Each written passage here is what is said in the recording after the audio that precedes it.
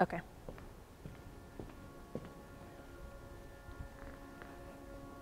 Hi, my name is Shell Waller, and this is my take on Black history.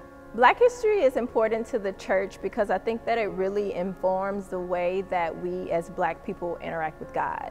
Um, so when I think about the history of African Americans specifically, um, the oppression that we suffered and the way that we were able to overcome, our faith is pretty much all that we had. Hoping God is pretty much all that we had. And so as we think about us coming into the body, into the kingdom of God as a diverse body, for us to be able to understand, to interact, to empathize and get to know each other on that soul level that we will really expect. Um, Black history really informs that.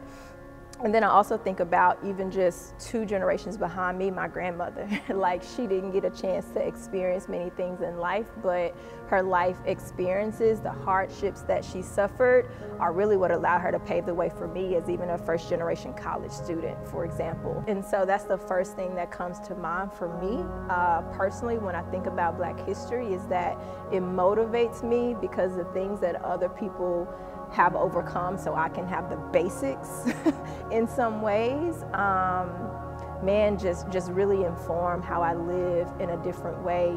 So I think to think about those things and how that impacts your brothers and your African American brothers and sisters in Christ really helps you to be educated on their walk with God in a different way.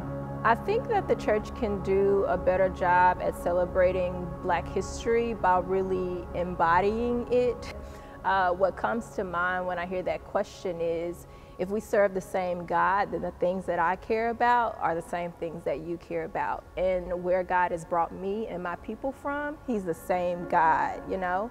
Um, and so I think we can empathize on a different level and we can celebrate differently when we see it as the testimony of what our God has done with this people and not just the history of a certain group of people. Um, and I think that that's beautiful. I think that we, when we come together in that way and not just think about it as only black history, but a testimony of what our God has done, um, man, it, it even creates, I think, a different type of worship within us.